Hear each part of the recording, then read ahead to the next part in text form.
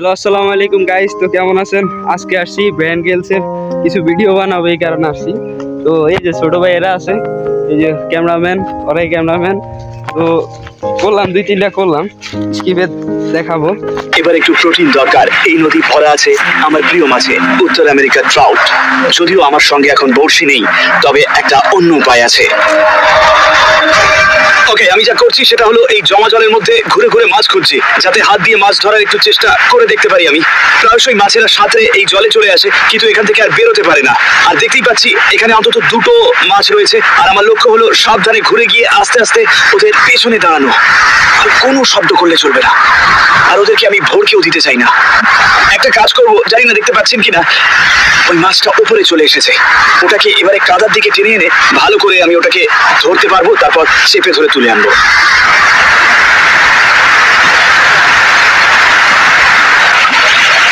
কাজটা মোটেও অত সহজ নয়। তবে আমার নতুন চ্যানেল যেটা আছে, ওটাতে আপনারা যাবেন। ওটাতে শুধু বেয়ার গেলসের ভিডিওগুলাই দিই।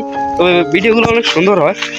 এটা আপনারা দেখলেই আর চ্যানেলটা সাবস্ক্রাইব করে দিবেন। আজকের মতো এইটুকে তো আসসালামু আলাইকুম সবাইকে।